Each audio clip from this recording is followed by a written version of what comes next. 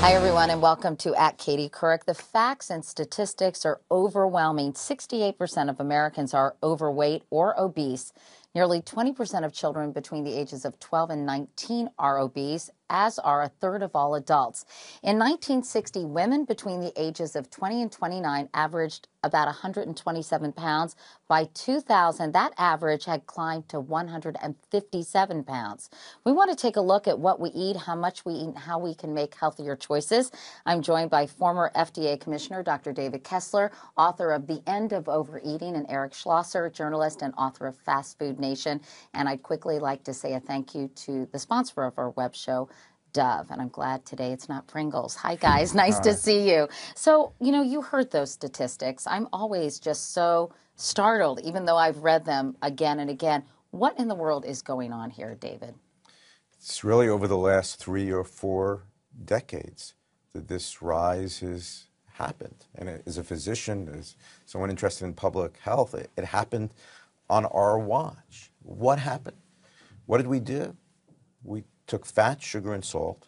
We put it on every corner. You can't walk down the street for 10 feet without being bombarded with some cue, some food uh, establishment. We made it socially acceptable to eat any time of day, 24 7. Look at food, it's become entertainment. Walk into a food court, it's as if we're living in a food carnival. How did we become so obsessed with food, Eric? Do you think? That that you know I, I, read a funny article recently in the new york times. It was a mom saying why do i have to bring a snack to the soccer game? We've become so focused on eating 24-7 and she was saying this is ridiculous but why do you think it happened? I think a great deal had to do with the marketing. Uh, the processed food companies spend 8 to 10 billion dollars a year on marketing each year and they want to increase you know the sale of their products uh, the fast food chains really pioneered marketing children, very small children. Uh, Burger King and KFC, I'm sorry, I'll, I'll, uh, Burger King, McDonald's have marketed Teletubby related uh, food to children 16 months old. And so, you know, they've changed, uh, the marketers have changed the eating habits of American children and we're seeing the consequences now that those children are growing up often in poor health. So they're brainwashed from a very early age to crave these things. And and I know David a lot of your book is about how your brain chemistry is actually affected by your food choices and I guess by even the visual cues, correct, that we see in marketing and advertising? That's exactly right, Katie. We're all wired to focus on the most salient stimuli in our environment. What could those salient stimuli be? For some people, it's alcohol. It could be drugs. It could be gambling. It could be sex. What's the most socially acceptable salient stimuli? I mean, it's food. And what is it about that food? It's the fat, sugar, and salt. They capture the brain circuits. We get cued. That cue activates our brain circuit. It stimulates thoughts of wanting. It causes that arousal. I have that momentary pleasure. It's gone in a second. I Next want time, it I, again. and again, Making me hungry, right? yeah. And Th- so is that, that, that cycle of cue, activation, arousal, reward. And what did the food industry do? It attached, I mean, you walk in and there's toys with, with the food. It all reinforces that wanting. I mean, the best thing you can do, the most important thing you can do for a child, I mean, is to intercede early so that neural circuitry doesn't get laid down. Because for millions of Americans, you know, they, they, they eat when they're happy, they, they eat when they're sad, they eat when they're hungry, they eat when they're not hungry, and no one's ever explained to them how their brains literally have been hijacked. Now, do food manufacturers, I mean, maybe I'm, I'm being a conspiracy theorist here, but do they put together ingredients that get us hooked on certain foods? In other words, is there, is it that sort of malevolent in terms of, gee, if we put this much, you're not going to be able to eat one potato chip? Or is it just sort of the whole amalgam of ingredients that plays into this? Do they understand the neuroscience? No. But they learned how to design food, to optimize food for that bliss point. They learned experientially what works. And the fact is that it does activate the neural circuits. I could show you on the brain scans. And you, I know, Eric, say there's a huge disconnect in this country in terms of why we're so obese or why we're not making healthy choices or why we're so consumed by foods between where we're getting our food and sort of from the the the manufacturer to the dinner table. What do you mean by that exactly? Just that there's been a huge transformation in the last 30 to 40 years in how our food is produced and distributed. And I mean, like you said earlier, I, I don't think these companies are malevolent. I don't think they want to get their customers sick or obese. But this food is very carefully designed to make you want to eat it and then eat it again and again. They do intensive focus groups, even with toddlers, to find which exact formula uh, is the right one. And with most processed food now has flavor additives, which are very carefully studied. The amount of fat, the amount of salt, the amount of sugar are very carefully adjusted. So these aren't things that are just being made uh, in the back of the kitchen with a chef with a big white hat on. These are coming out of enormous factories. They're industrial commodities, and they're very carefully calibrated to taste good and want uh, you to buy them often. And in my work, what I've tried to do is go behind the veil and show the difference between this food and the food that we ate for generations in this country. Uh, you know, if you if you think about the processed food that's sold at mass, most fast food restaurants, it looks the same. It looks similar to what we've been eating for generations, but it's a fundamentally different thing. How so? Well, as I said, it, it comes from these factories. It's carefully uh, been designed in, in different components, and all you need to do is look at the list of ingredients. And uh, you know, in, in my book Fast Food Nation, I, I gave the list of ingredients that if you wanted to make a strawberry milkshake at home, what you would need. I mean, strawberries, sugar, you know, milk, uh, ice. Um, and if you know, you look at a fast food uh, strawberry milkshake. You'd have to call a chemist. You'd have to call a chemist. There's a long, long list of ingredients. So it's a different thing, although it looks wholesome. It looks wholesome and may not be. But, but what you did in Fast Food Nation was really to help us all understand. You know, back in the 30s, 40s, and, and 50s, in 19, you know, 30s, 40s, and, and 50s, in order to feed a hungry nation, the food industry appropriately learned how to process food, to be able to ship food over, you know, long distance. There was advantages of that. Right? It, it provided uh, food longer shelf life, uh, cheaper foods. And along the way, the industry learned to dial in. It learned to dial in fat, sugar, and salt. And it also, because the food is so highly processed, it goes down in a whoosh. I mean, back 30, 40 years ago, the average bite we would chew maybe 20, 30 times. Count today, when you eat something, how many, how, how many bites, how many chews there are. It goes down in a whoosh. It's actually self stimulation because uh-huh. the food the food processing takes out anything objectionable mm. in the food. So it just goes down, and we're constantly eating it, and we don't stop. And with obesity, one of the things that we haven't mentioned is portion size, in which the commodity prices have been driven down so low that portion sizes have increased enormously as a way of providing value, but that also is a lot of extra calories. It used to be if you went to a, a fast food restaurant, you'd get eight ounces of soda now as small as 12 ounces of soda. It's not unusual to get a big gulp, which may be as much as 64 ounces of soda, and uh, that's an enormous amount of and sugar. You go to the movies for 25 cents more, you can get a gigundo thing of popcorn, which yeah. is an additional 300 calories. Yeah. And now what used to what used to really be a platter is now a plate. And I was talking to a friend of mine who's a nutritionist. She said the plates used to be 10 inches, and now they're 12 inches mm. in diameter. So people, and wh- wh- I guess is it? I don't know. It's so funny because I'm like this too, and you guys might be too, although you're so much more aware now. But you do want value, and you think, wow, I'm getting a lot for my money. You don't really think I'm getting a lot of extra weight for my money yeah. by consuming all this. But it is sort of a funny way that Americans are programmed to think. Yeah. One of the simplest things somebody can do, because losing weight and keeping it off is so hard. Right? And what I have done is, you know, I now eat about half of what I used to eat, and I can be just as satisfied. Yeah, and and well, let, let, I've got some uh, t- Twitter questions, some tweets, if you will, and I want to kind of address them. There's so many things I want to talk to you guys about, but here's some. Uh, one tweet says, Shouldn't we ban food advertising on TV the way we ban tobacco and hard liquor? Isn't this the elephant in the room?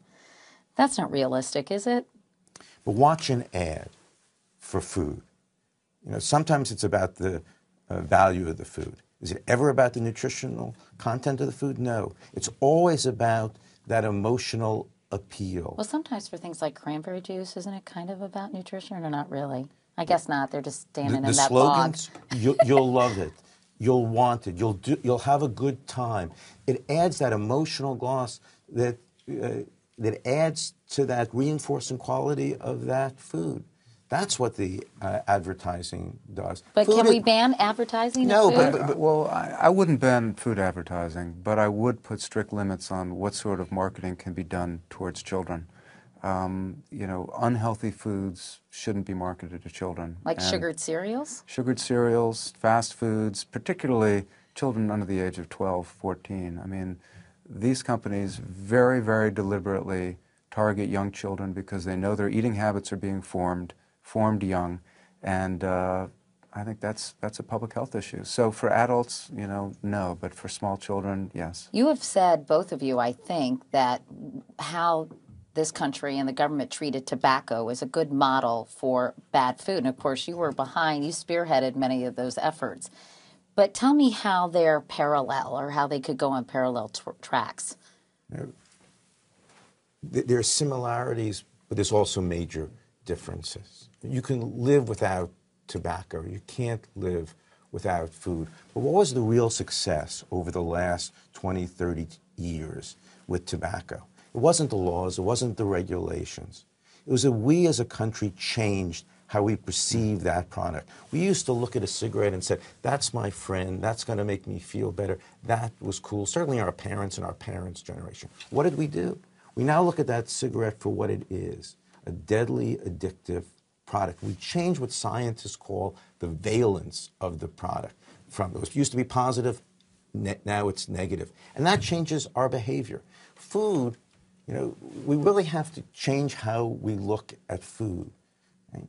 We were, tobacco was demonized. Can't do that with food and shouldn't do that.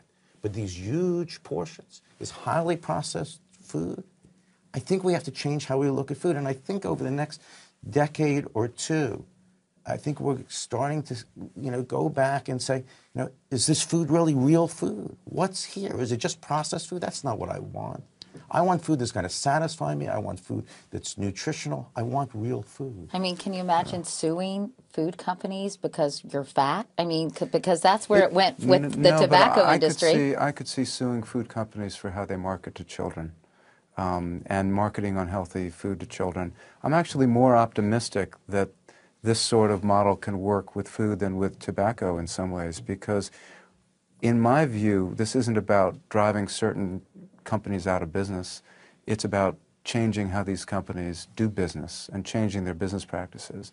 These companies can still sell food. I, I think they can still market food to children, but not food that's going to uh, have a really negative impact on these children's health. especially if you understand that the behavior is conditioned and driven. It really does affect the neural circuitry, and that neural circuitry gets laid down for a lifetime. Does that mean once you understand that that behavior is conditioned and driven, the food industry, does that have to change? Absolutely. Government, greater role uh, in disclosure and education. But in the end, I mean, it's up to all of us to take control and decide what do we want. I mean, I, I, my focus is so much on children because not only are their eating habits being formed, but their future health may be formed then. I mean, some studies have suggested that if you're obese by the age of 13, there's about an 80 or 90 percent chance you'll be obese for the rest of your life, with so many other health complications. So I think uh, uh, Michelle Obama and the president are absolutely right to be focusing now on children's health, and these companies can play a large role in that. And I, and and again, they'll still be able to earn a profit. It's But not like we're really- demonizing tobacco and tobacco companies, but these companies have to take responsibility for their the food companies have to take more responsibility for their products and what they're doing to American children. But do you think they will, Eric? I mean, we've been hearing this song for some time now. And I wonder, you know, we talked about corporate responsibility before we began taping. And when there's so much concern about the bottom line, when these are huge, huge businesses that, you know, make so much money, are they really going to be willing to take the steps they need to make to not market to children when they're selling a boatload of sugared cereals to, to families all over the country? I mean, are you are you Well, being a little naive? Well, they're clearly not going to do it voluntarily, or they never would have done these practices to begin with. So I think with public pressure and pressure from government, I mean, one of the areas where we have enormous leeway to make a difference is in school meals. Uh, and what sort of food the, the government purchases, what sort of food we allow into schools. Hasn't that gotten better? I mean, hasn't the It's quality gotten- of school lunches improved, or is that just sort of It's in sporadic places? I think it's the beginning of it. But I mean, if, if basically the government is going to have custody of your children uh, during the day and feed them a meal, there's the opportunity to introduce really healthy food and you know not be subsidizing junk food. And there are many, many high schools and schools that have branded fast food that's you know junk food essentially. Or soda machines, And right? soda and machines. and it kills me when I see soda machines in hospitals. I think, hello, Yeah. but they get money from these companies. So what's the impetus for them to say? And isn't health isn't providing this? I think is an interesting question. Someone tweeted about this. Isn't providing healthy food a lot more expensive? You go to inner city neighborhoods, and there are very few places you can buy produce. I mean that is changing, and there've been a lot of movements that we've actually reported on. But you know, if you want to go to the grossest fast food restaurant, where do you go? Oftentimes to the poorest neighborhoods. Yeah. So how can we change that? So Those are two questions, So. Mm-hmm. a candy bar, right, versus an orange. Difference in cost? Not much, right? What if I can't find an orange in my neighborhood? Well, then, I mean, you're right. I mean, and I think uh, the administration, the, the first lady, I think a lot of people are focused on that. But I, I question the assumption, right, that real food, healthy food, um, is uh, more, More expensive. I mean, calorie for calorie, you know, there's no question there's more calories uh, in that candy bar than in that orange. But in some ways, that, if that candy bar only stimulates you to eat more and doesn't fill you up, in the end, you know, there's, there's certainly ways to eat healthy. Well, we, we've Well- known about this for so long, Eric. Why, ha- why aren't all schools, all public schools in this country, serving healthy food? They're underfunded, and a lot of them got rid of the cooks who made uh, food fresh and now get frozen processed food that might as well be fast food. And I think it will cost more money to provide healthy meals in America's schools, but that's a basic kind of investment. It'll cost enormously more money to have deal with children with obesity. diabetes and children who are obese. And if you look at I mean, I think the latest calculation of the cost of obesity in the United States, and you may, you may have the, a better figure, is 150 billion dollars a year. Now that's an economic cost. That doesn't measure the emotional cost of what it is in a society that, that worships thinness to be obese, of what it is to be an obese child or an adolescent. And, and in my research, I've spent time with these kids, and you know, it's it's it's hard. It's not just you know dooming them to a, a greater likelihood of asthma, cancer, et cetera, But the emotional the toll emotional it part of takes. it.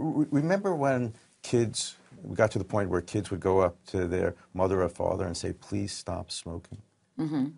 We, where we need to I used get to flush my mom's Kents down the toilet. Right. Where we need to get to, we will know we're making progress. When kids start saying to their parents, please don't take me to that fast food restaurant.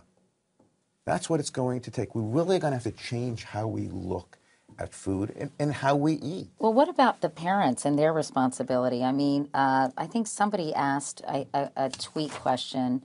Um, could could you ask the authors, or what have they have observed as the most common behavior of parents related to childhood obesity? I mean, aren't many overweight, obese kids?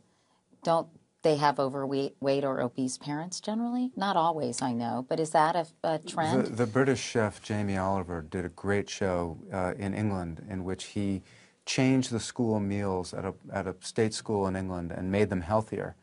And uh, there was footage of some of the parents showing up at the school and putting French fries through the gate to their children. Uh, changing this obesity problem among children is going to really have to involve getting their parents uh, educated and involved as well, because otherwise it seems like you're you're accusing them of being poor parents if if um, their children are unhealthy. the more research I've done, the more I've become convinced we have to be very careful. I mean, I am much more empathetic. You know, if you look at the, the problem is not people who are obese or, or overweight or healthy weight. It, it, the problem isn't weight. The problem is the food, right? It, it's not a question. Uh, you know, somebody who's obese or, or overweight, we now know. I mean, it's not that they necessarily want to be like that. I mean, th- their behavior has become conditioned. Their neural circuitry has become wired. I think we have to be much, much more empathetic and, and, yeah. and understand. And we have to give people the tools, no question. You know, the, the model behavior is key. Uh, and what you do as an adult affects what your kids are going to do, and they're always watching. We know that. Real quickly, if you had to tell Michelle Obama these are the three things, actionable things you can do to reduce childhood obesity in this country, because you know we hear it all the time. Yeah, get up and move, and at some point, you know that's just not working for us, fellas. So, what would you tell her the three most important things? Improve school lunches, yes. I what would, else? I would put a garden in every school. I'd invest hugely in healthy food in the schools and nutritional education in the schools. I'd invest hugely in physical education in the schools. Yeah, because a lot of phys ed classes have just been canceled, Yeah. right? And, and I would change the way we look at these, at big food. I'm not, I'm not talking corporate big. I'm talking literally big food. I mean, I would start the campaign where these huge portions become uncool. And I also would do that with processed foods. I, I think it's important to change how we look at food in this country. So make uh, make processed food uncool. How do you do that? Like, ugh, that's uncool. Eating that Oreo when all the other advertising advertisements are telling us otherwise that it makes you happy and you're having a nice time with your grandfather dipping in a big glass of milk. You can have your Oreos, Katie. It's okay. No, I don't really like Oreos, but I'm just saying those are the images we see. And you're right. But, but think we, created those. We, we, we created well, I those. didn't create those. But, but, but we as a society created those imagery, and we could change that. I mean, look at the French. Why, up until recently, have the French not been obese? Right? They, they eat during meals. They eat real food. They, they don't eat all the time. What did we do in the United States? We took down those barriers. You know, I could be sitting here right now uh, and you know and drinking or even eating something, and no one would think anything different.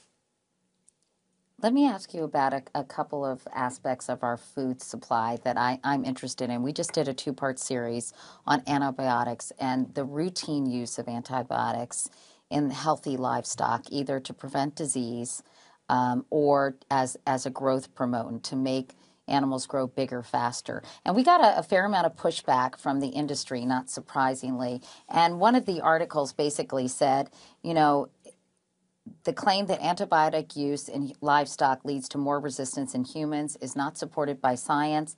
In Denmark, the banning of antibiotic growth promotants led to an increase in pig deaths, and it did not have a positive public health outcome. Basically, what a lot of farmers told us is, you know, we use it sparingly, only when we need to. But if a few of our pigs are sick, we want to protect the rest of the herd. So, what is your take on the whole use of antibiotics? Because I know the CDC and many health experts say it is a, a ticking time bomb. And I just would like to hear from you in terms of what you both think. It concerns me greatly. I think the the two pieces you did were very, very important. You talk to the professionals at FDA, and they say um, this longstanding practice really needs to be thoroughly examined and changed. The, the, I think what the industry got wrong, gets wrong, is where the burden of proof is what you have to show when you use a drug. Right? Before you use a drug, you have to establish that it's safe. The, the, there are real risks here. Using drugs in a non therapeutic context, we have to do very, very, very sparingly. That practice really needs to be re examined. I think these were very important pieces. I think this is a practice that has gone on for way too long without really uh, being in public view. Isn't part of the problem, Eric, is that we don't really know how widespread it is because there's no monitoring system in place. The FDA doesn't have access to a lot of these farms, and Yeah. they say, well, they're monitored by veterinarians, and obviously people want to be responsible, but there's just no way to track it. The vast majority of antibiotics in the United States, I think it's 70%, is being fed to livestock. And what I've tried to do in my work is show how livestock are being raised. And once you see these modern factory farms, you realize why there is this temptation to use so many antibiotics subtherapeutically.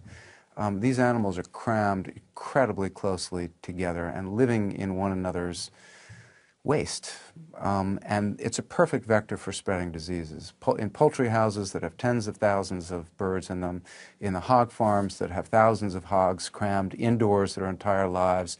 If you look at a modern feedlot, it can have up to 125,000 cattle penned in together, living in one another's waste. Now, in the Middle Ages, human beings lived that way, and it was a perfect vector for the spread of all kinds of diseases. So, having created this new industrial system, the meatpacking companies want to just dose all of their animals uh, with antibiotics. As Denmark has shown, it's not necessary to do that. And uh, I think your pieces were terrific. Oprah Winfrey was sued by the meatpacking industry some years ago for suggesting on her show uh, that there might be mad cow disease in the United States. She was right.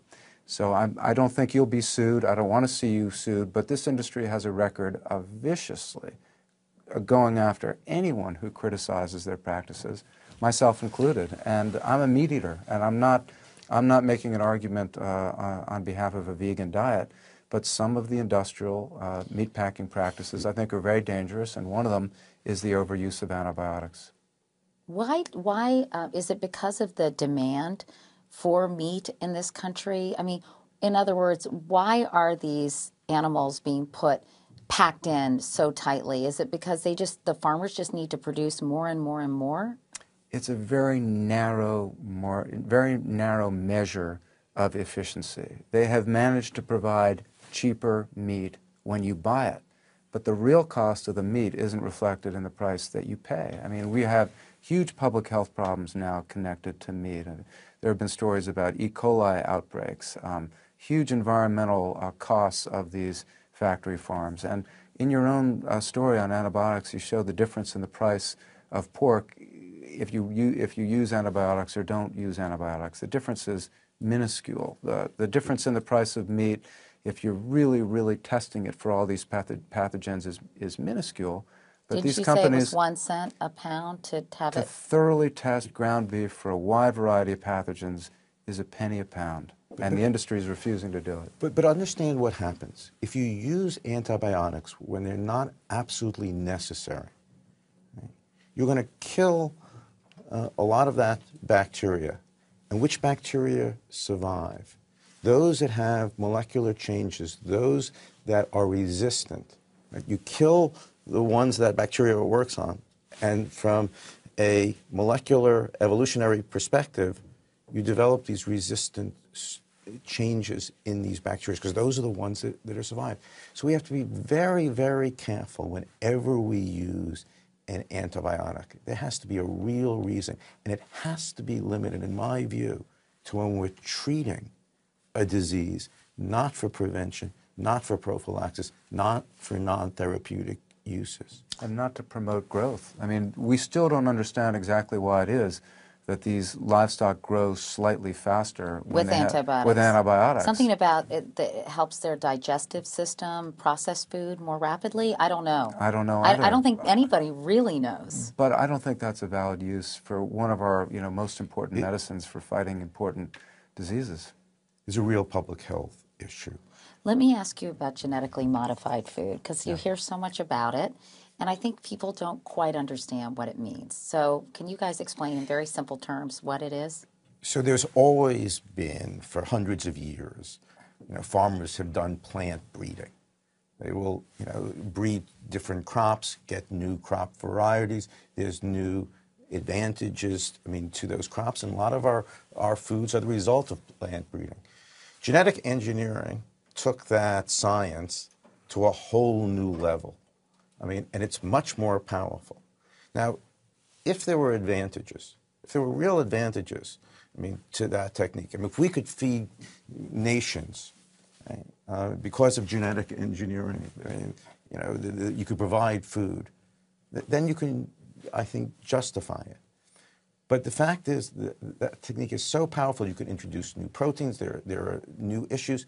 So again, the science is great when there's real benefits that are demonstrated. A lot of times, these techniques are used, and you wonder, you know, I mean, are there real benefits from, you know, from using such powerful techniques on our food? well, what's supply? wrong with it? What's I, I, I, what's wrong with it? So if you genetically engineer a new food, right, and you change the molecular structure of that food, you can introduce a new protein. And sometimes a protein could be a new allergen, and it could raise, you know, people who are allergic, and, and we don't know it. Now, FDA has taken steps to try to monitor that, to make sure of it.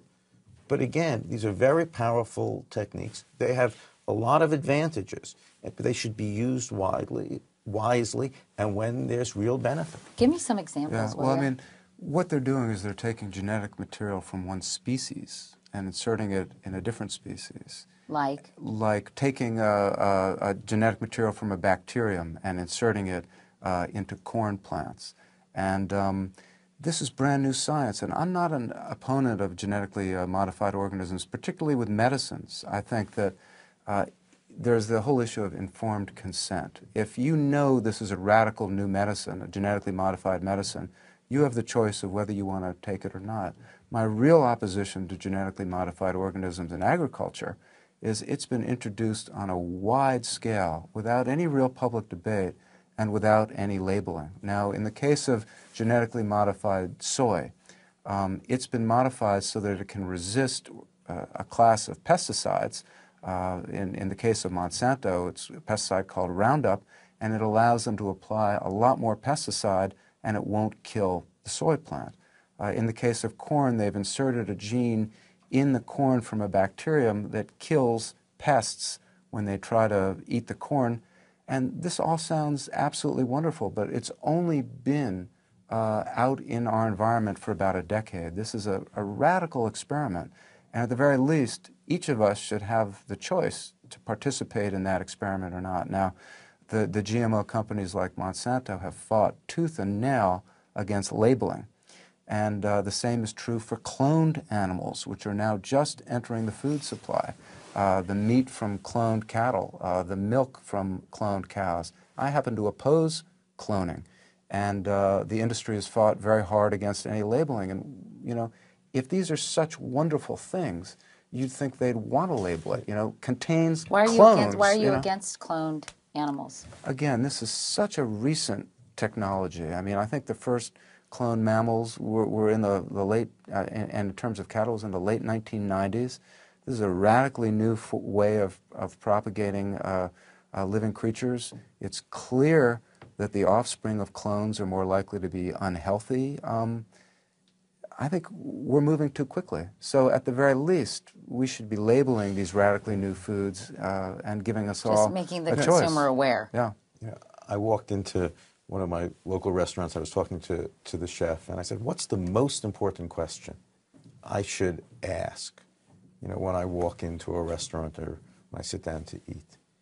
And he looked at me and he said, You should ask where the food is from. Now, I've never asked where the food uh, is from. And, and, you know, it's very interesting. I, I think there is a movement afoot, right? And it, it's not fully here, right? And I think it, it's, it's evolving. But I think we, we realize that understanding where our food is from, making sure it's real food, you know, that it's not highly processed, I think those are values, you know, that will serve us well, you know, not only with regard uh, to uh, obesity, but also what tastes good and what we can enjoy. And I mean, one point, Dr. Kessler was head of the FDA. When you want to introduce a new drug, there are years and years of study of the health implications of that drug, the effectiveness of the drug. I mean, it can take a decade for a drug to gain regulatory approval. And yet, these foods, like genetically modified organisms and like cloned animals, have just been put onto the market without any of that sort of testing. Why A- is that? And I think that we should we should be following. a Why isn't the FDA being more vigilant about that? You have an FDA team Or the in Department of place. Agriculture? You know, I, you know, it is an enormous job.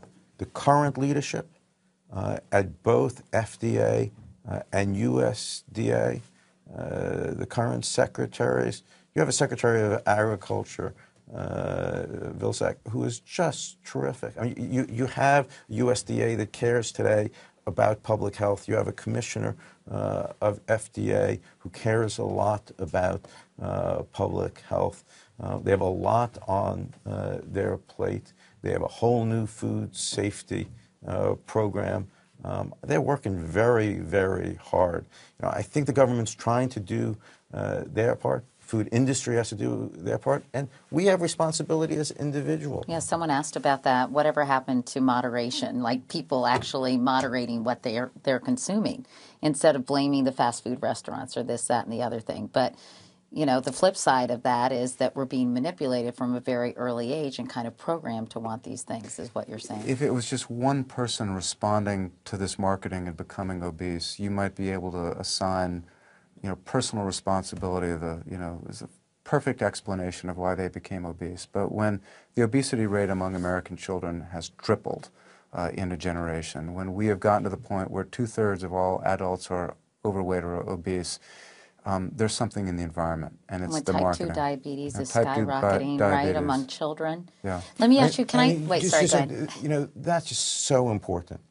You know, I learned as a physician how to take care of a 50 year old or a 60 year old with type 2 diabetes. Type 2 diabetes, I could just as well write obesity in the medical chart. I know the consequences of that 50, 60 year old getting type 2 diabetes, getting the retinal complications, getting the cardiovascular complications. But Katie, a 10 year old getting type 2 diabetes, that scares me. I have no idea of the consequences. What is it going to be like for that child? For if that child lives for six, seven decades with type 2 diabetes. None of us, none of us in the medical community have ever experienced that. And now they're talking about giving statins to kids who are eight years old, which to me seems just completely absurd. I guess from a medical point of view, maybe you need to do something to protect them, but it just seems so. I've talked to Crazy. pe- pediatric surgeons who've done bypasses on teenagers. I mean, who already have, you know, heart disease. Two more areas I just want to touch on. Um, I could talk to you guys all day, but one is um, hormones in milk. Now, when I buy milk at the grocery store, I get organic because it's hormone free, and and so how concerning should we be? Uh, how concerning should it be that cows are being given hormones to produce more milk? I guess twenty four seven because normally, you know, they're like women; they're going to produce milk when they have calves, not sort of round the clock every day of the year, right? Who who, who wants to take on hormones and There's been a real pushback against growth hormones being used uh, in cows, and I think I think Walmart announced this year they're not going to buy any more milk uh, from cows that have been given growth hormones. So there's actually a decline now in the use of those hormones. One of the concerns was these cows were so overproducing uh, milk that they were getting infected. They were getting mastitis because their bodies just couldn't handle that much milk production. And because they were getting infected, they were more likely to be given antibiotics. And you just didn't want to get, you just don't want to get milk from, from unhealthy animals. Um, the issue of hormone use in cattle is also controversial. I mean, in the European Union, um, growth hormones are largely banned uh, from cattle. Uh, in the United States, that are routinely given to feedlot cattle, and and there are there was a study, a Danish study that came out a few years ago that suggested that we might have elevated levels of breast cancer and prostate cancer in the United States because of our use of uh, growth hormones in cattle. we looked very hard at the science of growth hormones in milk. And I think everything we saw was that the safety profile really wasn't affected. But it's an example where the technology developed. There really wasn't a use for it, and it was a technology that went searching for, for a use in it. We didn't need a drug I mean, to produce more milk. And there were certain economic advantages. And I just think we have to be very careful, I mean, with some of these newer technologies. But I think you can feel pretty comfortable that the milk is safe. Just buying sort of regular milk because there was some sort of theories that it was making girls get their periods earlier and you know Look, if you want to know, I mean, the greatest risks. I mean, I, I, I think that I think there's two that we need to focus on. I think it's the macronutrients. I mean, it's the stuff that's it's the fat, sugar, and salt. That's number one. And and I do think um, really looking very hard at antibiotic use. To me, that's that's very very important. Right now, I would focus on those two um, as very important ones. But real quickly, Eric, I was going to say when we talk about growth hormones in cattle, Mm-hmm. is that like when you give growth ho- hormones to chickens so they'll have big breasts, um, and and because people like white meat or whatever, and they're almost so top heavy they can't walk. I know that was in Food Inc., which you had a big voice in. Yeah, in, in the in the chicken, it's more that how the chicken have been bred to produce Is large that breasts. so? Would that be considered a genetically modified food? That chicken no, with that, the big that breasts? would be that would be how the chicken has been bred. Uh-huh. It's not genetically modified. But what's what's interesting is some of the very same hormones that are routinely given to American feedlot cattle are the same hormones that are being abused by athletes and that are banned by the DEA. Um, and so, on the one hand, we say these hormones are bad for athletes to take because they have all kinds of you know, potential health harms. On the other hand, they're being massively and routinely used in American feedlots just so these cattle will grow a little faster. Now, something Dr. Kessler uh, has mentioned a number of times is ultimately, you know, we should be following a precautionary principle. If you're going to introduce new technologies into our food system, particularly if you're not going to label it, uh, the burden of proof that it's safe should be on you, the company that's doing it. And that burden doesn't exist right now. One of the things that I, I find most disturbing about genetically modified foods is the farmers who buy, for example, Monsanto seeds have to sign a document when they do that they will not allow these seeds to be handed over for independent research. There's almost no independent research being done on ge- these genetically modified seeds. I'm not saying that they're dangerous. I'm not saying that people are going to be getting sick as a result. But we need much more research on the health impacts of these new technologies, and the re- research shouldn't be done by the companies who are manufacturing them and profiting from them. Okay, my last question, because I know Yeah. I'm getting tr- in trouble from the control room saying, okay, Okay. wrap it up, even though I, uh, it's so interesting, is lately I've been seeing these ads on the television sort of uh, trying to, to make people less nervous about high fructose corn syrup. And, and it's from the Corn Refiners Association. And I wanted to ask you, first of all, what is high fructose corn syrup? And why has it been demonized and has it been fair or unfair? You, Dr. Kessler. Concentrated sweetener, I mean, from corn, high fructose. Fructose is a sugar, uh, corn syrup.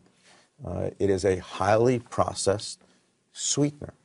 Um, in my view, it just stimulates us to eat more. Um, is it metabolically different than sugar? I mean, there, you talk to scientists, you get different answers. Regardless of the answer, it has very little role, I think, uh, in the American diet. But is it any worse than sugar? I don't know that it is wor I mean, Dr. Kessler's right. There, there's a lot of disagreement as to whether we metabolize it differently from sugar. The most significant part for me is how cheap it is, because corn has been so heavily subsidized for years, and because it's so cheap, it's enabled food processors to put it into almost everything, everywhere. A- a- And it is It is in everything. I was looking on the labels, and you know, even the strawberry jam I I bought had high fructose corn syrup in it. Yeah. And uh, the food is layered and loaded. in cereals, obviously, it has, It's, right? it's just we, we've we've layered and loaded our food with you know whether it's high fructose corn syrup or, or sugar, fat, and salt, and the result is it's just making us bigger. It's making us eat more. I'm just going to show that that I don't know if you all have seen these ads, but it's just sort of interesting, and I want to get your take on it, and then I think we're going to have to wrap things up. You want to bite? I thought you loved me. I do. Take two bites. It's got high fructose corn syrup in it. So? Well, you know what they say about it. What? That it's it um That it's made from corn, has the same calories as sugar or honey, and it's fine in moderation. You only wrote one. Get the facts. You're in for a sweet surprise. So clearly, I mean, the corn industry is aware that people are questioning the use and the ubiquity, if you will, of high fructose corn syrup.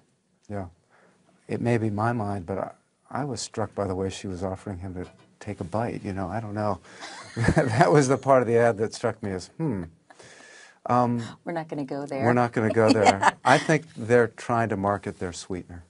I think that's what it is. I mean, they just, their, their, their sweetener has come under Should attack. Should I try to buy things people- that don't have high fructose corn syrup in? Absolutely. Right. Real food, food that you know where it's from, food that you're going uh, to enjoy, but food that, that, that's real food, food that is not as highly processed as we've learned over the last three or four decades. to move. We have to move this country. We have to change how we look at food. And real quickly, you know, you're ta talking about how we're programmed from an early age. We can't really send the entire nation to food rehab, right? I mean, what realistically, what can we do? I do think we can look at these huge portions differently. I do think we can look at processed uh, food differently. I think we can serve um, foods to our children uh, that we know uh, is, is healthy. And, and I think the First Lady deserves a lot of credit this week. Uh, I think she, she got it right. I think she's pitch perfect, but she can't do it alone. I, I think we need to make a major investment in the health of American children and prevent them from being exploited for profit by these food companies. Is it And- too late for the rest of us? Well, no. I, I think that any one individual has it within his or her power to try to make these sort of changes. But information is power, masse- isn't it? I mean, that's don't underestimate how hard this is going to be. It took 30, 40, 50 years to change how we look at tobacco. We succeeded. Yeah. That was easy compared uh, to this challenge. Um, I'd, I'd like to think that getting these food companies on board and giving them the incentive to produce healthier f- food could speed the process up. And again, it's not putting them out of business, it's changing their business practices. how do you incentivize them to do that, though? They'll change when we change and what we, when we make known what we want. All right, Eric Schlosser and David Kessler, thank you guys so much for coming in. It was a really interesting conversation. I appreciate it so much. Thank you, Kate. Thank you. And thanks again to all of you who tweeted in some questions. Thanks for watching as well. And now stay tuned for a message from our sponsor, Dove, which you cannot eat.